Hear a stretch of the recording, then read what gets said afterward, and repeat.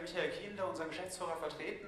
Er ist leider anderweitig eingespannt, aber es freut mich sehr, ihn hier heute vertreten zu dürfen. Und ich würde mit Ihnen gerne über das Projekt OpenEthic sprechen. Das ist ein recht frisches Projekt. Ähm, Im Gegensatz zu dem Vortrag eben rutschen wir jetzt so ein bisschen nach unten unter die Cloud, also die Basis, den Unterbau einer Cloud-Umgebung. Über die Firma Itinovo möchte ich gar nicht allzu viel erzählen. Ein paar Fakten sehen Sie in der Folie. Was mir nur ganz wichtig ist, die Itinovo ist als Data Center Betreiber einer Konzerngruppe entstanden. Ende der 90er Jahre haben wir uns dann zum Dienstleister gewandelt, haben uns da recht wohl gefühlt. Inzwischen liegt da unser größerer Anteil in dem externen Markt und so war es natürlich früher oder später der Fall, dass wir vom Data Center Betreiber zum externen Dienstleister auch zum Cloud Provider wurden. Und so in den ersten Kundenprojekten schon vor einigen Jahren Cloud bereitgestellt haben. Die Vorteile von Cloud brauche ich niemandem das erzählen. Es gibt immer so ein paar Schlagwörter, die man damit verbindet, die IT-Entscheider damit verbinden, die meistens aber auch Geschäftsführer damit verbinden. Wir haben bei unseren Cloud-Projekten, bei den ersten Projekten die Erfahrung gemacht, so locker und leicht, wie das klingt, ist es häufig gar nicht. Flexibilität im Umgang in der Cloud setzt erstmal voraus, dass wir auch Flexibilität in der Infrastruktur haben. Und genau darüber möchte ich heute mit Ihnen sprechen. Der Kollege hat eben von Amazon gesprochen. Das ist natürlich der beste Fall. Da haben wir die Verantwortung für die Infrastruktur abgegeben. Aber was, wenn ich das selber bereitstellen muss? Ich muss meine Ressourcen flexibel erweitern können. Das ist bei vielen Ressourcen kein Problem. Die Virtualisierung macht da vieles leicht. In einem Punkt, und da kommen wir zum nächsten Schlagwort, Big Data, sind wir da auf ein paar Probleme gestoßen, das ist der Bereich Storage.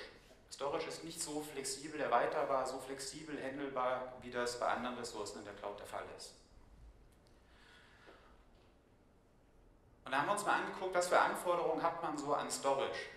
Einerseits in Bezug auf Cloud, andererseits haben wir das System mal ganz klassisch als Unified Storage System betrachtet. Und ich will jetzt hier noch gar nicht auf jeden Punkt eingehen. Was wir uns auch angeschaut haben, und das vor dem Hintergrund, dass wir ein Open Source Dienstleister sind seit vielen Jahren, wir haben uns angeschaut, woher kommt denn die eigentliche Funktionalität, die in so einem Storage-System drin steckt. Und da wird man feststellen, dass es ein sehr großer Softwareanteil ist. Natürlich brauche ich für meine hohe Verfügbarkeit eine redundante Hardware, aber die ganze Intelligenz, die Umschaltung, das ist ein reines Software-Thema.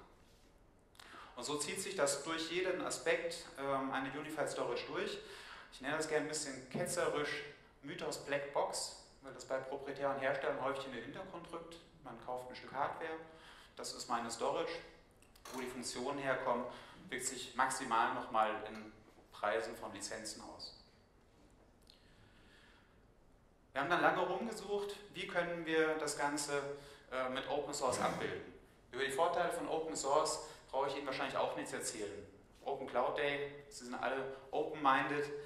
Ähm, ich will einen Punkt ein bisschen hervorheben, mit dem wir die besten Erfahrungen gemacht haben. Das ist die individuelle Kooperation, äh, die, die individuelle Entwicklung von ähm, Nischenthemen. Das heißt, mehrere Firmen tun sich zusammen und es wird gemeinsam eine Anforderung abgedeckt. Wir können damit sehr flexibel auf individuelle Anforderungen reagieren. Wir können uns auf Lösungen konzentrieren, die die Marktführer vielleicht nicht integrieren würden.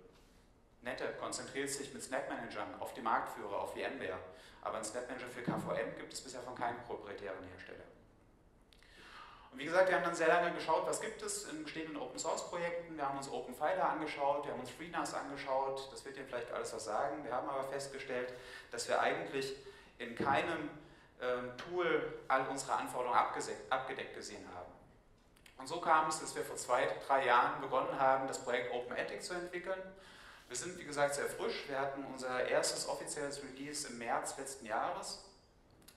Wir sehen hier mal einen Screenshot von der Einstiegsseite von OpenEthic. Da sehen Sie schon, wir ähm, konzentrieren uns auch sehr stark auf das Thema Monitoring.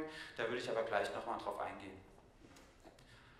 OpenEthic an sich gibt es in drei Editionen. Es gibt einmal die Community Edition, die frei zum Download verfügbar ist. Bereits in der Community Edition hat man alle Funktionen, die man sich von einem Unified Storage System erwartet und auch Funktionen, die man in einer Cloud einsetzen kann. Zum Beispiel eine zentrale API, über die man jede Funktion ansprechen kann. Vollständig darauf aufbauen bieten wir dann die Enterprise Edition an, mit dem Hauptunterschied, es gibt einen professionellen Support mit Wiederherstellungszeiten, mit Reaktionszeiten über uns oder über einen Partner und so ein bisschen noch am Rande die Appliance Edition, die ähm, wir dann, also am Rande im Sinne von, es ist die Enterprise Edition, die wir aber gebundelt mit Hardware ausliefern, sodass Sie auch einen einheitlichen Ansprechpartner für den Support of Hardware und Software haben. Bei der Community Edition haben wir letzten Monat ein bisschen Geburtstag gefeiert. Da haben wir nämlich das äh, erste Stable Release von OpenATIC veröffentlicht. Wir haben da ZFS integriert, ist im März stable geworden, auch für den Linux-Kernel. Wir haben BetaFS be äh, bereits integriert und wir haben den Weg, OpenATIC einzusetzen, zu installieren und zu testen, deutlich einfacher gemacht. Man kann es als fertige Pakete nutzen, man kann es als ISO nutzen. Also es ist sehr leicht, so einen ersten Test von dem Projekt zu machen. Keine Sorge, ich will nicht jeden Punkt dieser Folie erklären. Ich will nur mal durchfliegen, wie tickt OpenATIC, was ist das Ziel von OpenATIC, was sind die einzelnen Funktionen. Und da würde ich gerne mal von links nach rechts durchfliegen. Wir haben an der Basis Standard-Linux-Tools aus den Communities, die lange bewährt sind. So ein Samba zum Beispiel für Windows-Freigaben, ein DRBD für Datenspiegelung, ein LVM oder ein ZFS für Snapshots. All diese Tools ziehen wir zusammen, legen einen, im Backend einen modularen Framework oben drüber da steckt dann das Know-how drin, das der Admin haben müsste, um die Tools zu bedienen. Auf diesen einzelnen Modulen liegt dann der Kern von OpenATIC, quasi das Herz.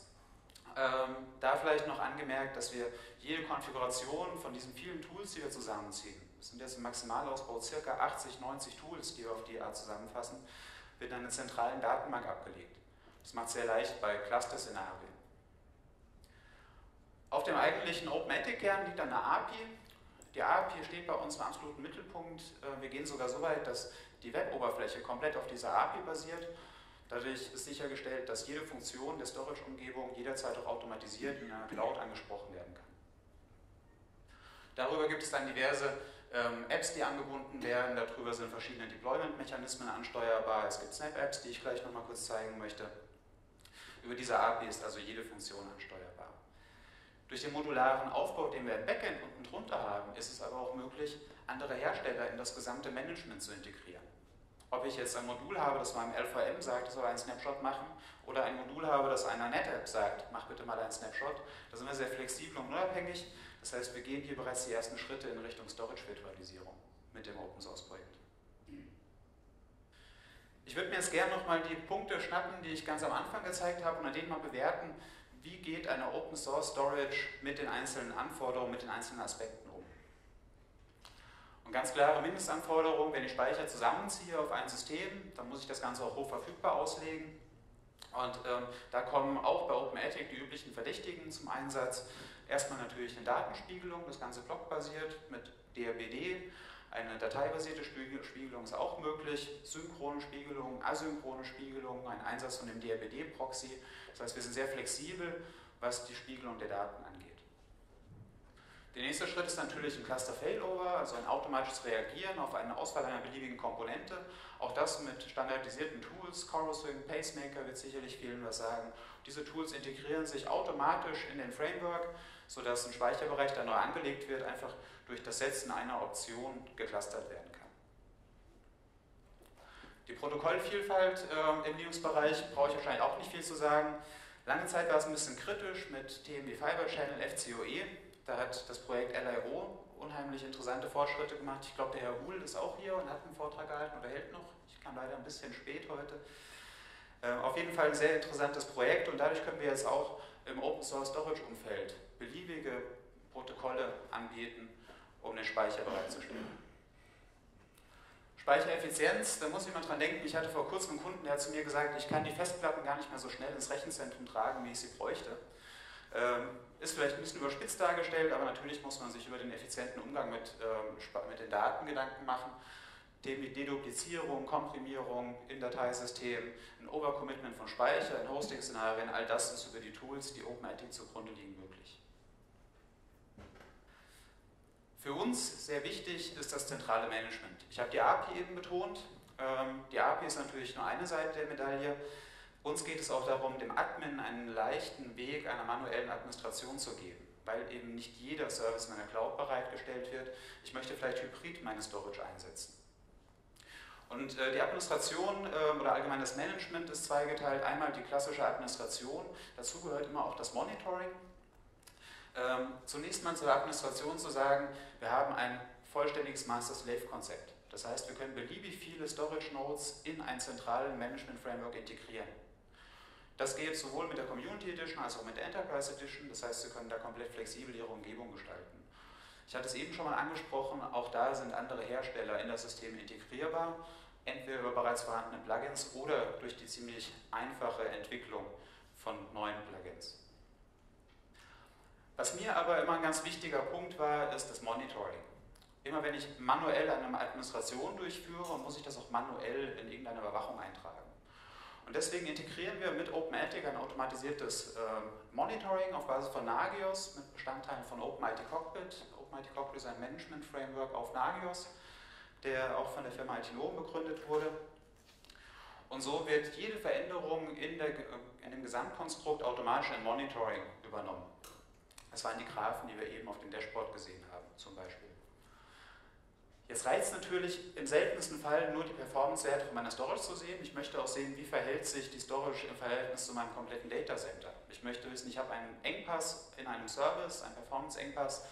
Ich will nicht gucken, liegt es an der Storage und dann liegt es am Switch, sondern ich will eine zentrale Ansicht. Und dafür kann OpenAttic als äh, Satellitensystem für bestehende Monitoring-Systeme agieren und kann bei dem Bereitstellen neuer Laufwerke, neuer Speicherbereiche diese Informationen auch an ein zentrales Monitoring übergeben.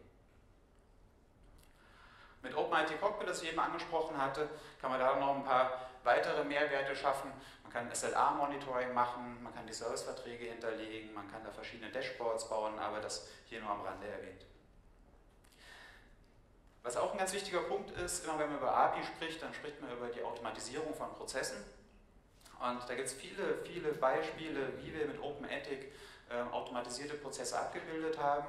Jetzt nur mal ein Auszug und auf das Thema Backup möchte ich noch ein bisschen genauer eingehen, weil das eine Herausforderung ist, die ähm, häufig unterschätzt wird. Gehen wir mal von einem System aus, ähm, das auf einer Datenbank läuft. Die Datenbank liegt auf einem Speicherbereich, der in irgendeiner Form in dem OpenAttic Management integriert ist.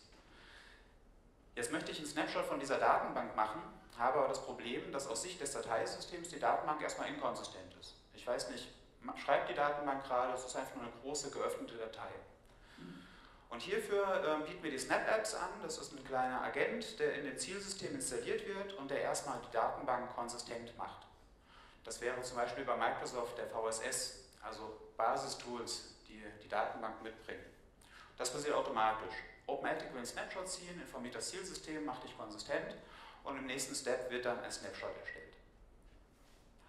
Jetzt habe ich aber ein bisschen mehr als nur einen konsistenten Snapshot. Ich habe im Endeffekt einen Echtzeit-Klon meiner Datenbank und das Ganze ohne jegliche Beeinflussung der User. Also kann ich eigentlich noch einen Schritt weiter gehen und kann Datenbankprüfungen mit diesem Snapshot durchführen. Das heißt, ich kann den Snapshot an ein getrenntes System mounten, kann dort darauf zugreifen, parallel zum laufenden Betrieb und Offline-Checks durchführen. Vielleicht kennt jemand das Tool EasyUtil von Microsoft für den Exchange. Ähm, ich glaube, es gibt nur zwei, zwei wirklich genutzte Funktionen von dem Tool. Das ist einmal offline prüfen, geht es der Datenbank gut, was die wenigsten tun, weil es offline ist, oder den Fehlerfall hinterher wieder reparieren und da spätestens stehen die Schweißperlen auf der Stirn. mit dieser Lösung ist es möglich, ECUT im laufenden Betrieb einzusetzen und eine Prüfung der Datenbank ohne Downtime durchzuführen. Wenn ich jetzt weiß, dass meine Datenbank konsistent ist, kann ich sogar noch einen Schritt weiter gehen und kann auch meine, meine Datensicherung, mein Tape-Backup von diesem zweiten Node ziehen, also ziehe ich auch die Backup-Last von meinem Produktivsystem.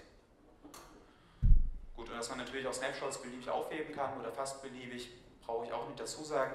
Aber wir haben hier einen vollständig automatisierten Backup-Prozess, der sicherstellt, dass die Daten konsistent sind, der mich in die Lage versetzt, Prüfungen durchzuführen und der dann direkt noch die Backup-Last von dem Produktivsystem zieht. Es gibt viele weitere Beispiele für eine Integration ähm, über die Prozesse. Es gibt Schnittstellen zu SAP zum Beispiel. Wir haben für den Kunden eine Anbindung an das HR-Modul äh, gebaut, sodass virtuelle Desktops deployed werden können. Es gibt viele, viele Beispiele, aber das war mal so ein Auszug. Zum Thema Skalierbarkeit. In dem Punkt können wir deutliche Vorteile bieten, dadurch, dass wir ein Master-Slave-Konzept beim Management fahren. Wir haben zwei Möglichkeiten zu skalieren. Wir können entweder klassisch Disks skalieren, das heißt über weitere Controller, weitere Shells, weitere Festplatten den Speicherplatz erhöhen, aber wir können auch über mehrere Nodes skalieren und das wirklich unbegrenzt, weil wir da eine reine Management-API nutzen.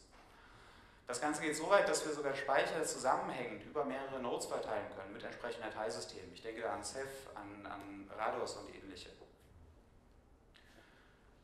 Als letzten Punkt möchte ich noch auf die Kosten eingehen, weil das natürlich immer ein wichtiger Punkt ist, wenn man über Storage spricht.